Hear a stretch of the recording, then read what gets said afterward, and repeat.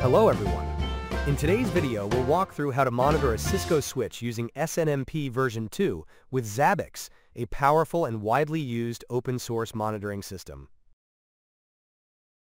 Before we begin, make sure your Zabbix server is up and running. If not, check out my setup video. Link is in the description below. And on the Cisco switch, make sure SNMP version 2 is already configured. If not, I've made a detailed setup video. Check the link in the description below. Now, let's go back to the Zabbix interface. We'll start by clicking Create Host to add a new host.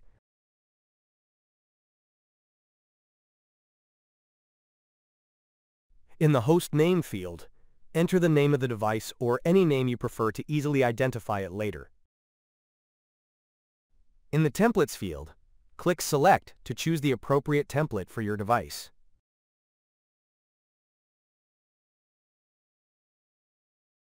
Then, in the Template Selection window, click on the Network Devices group to display templates for network devices. Here, you can select the exact template that matches your supported Cisco device, or simply choose the Cisco IOS by SNMP template which works well for most Cisco devices using SNMP. Next, click Select in the Host Group field to choose the group you want to assign this device to. You can select one or multiple groups if you like, or even create a custom group to personalize how you manage your devices. Next, in the Interfaces section, click Add, then select SNMP to add an SNMP monitoring interface. In the SNMP field, enter the IP address of the Cisco device you want to monitor. For SNMP version, in this case, we'll choose SNMP v2 since the device was configured with this version earlier.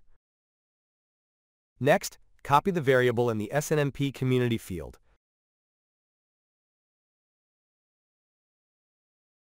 Now, switch to the Macros tab to define the value for the SNMP community variable you just used. In the Values field, enter the community string of the Cisco switch that you configured earlier. Finally, click Add to complete, adding the new host to Zabbix.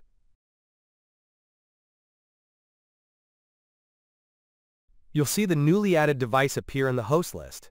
However, the SNMP status may initially show as gray. This is normal. Wait about 5 to 10 minutes for Zabbix to complete the first round of data collection. Once successful, the SNMP status will turn green, indicating the device is being monitored correctly. Okay, so we've successfully completed the setup. Now you can monitor your device through charts, metrics, and alerts right inside Zabbix.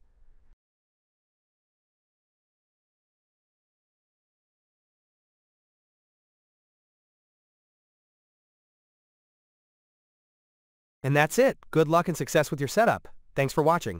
Don't forget to like, share, and subscribe for more useful content on system administration and network monitoring.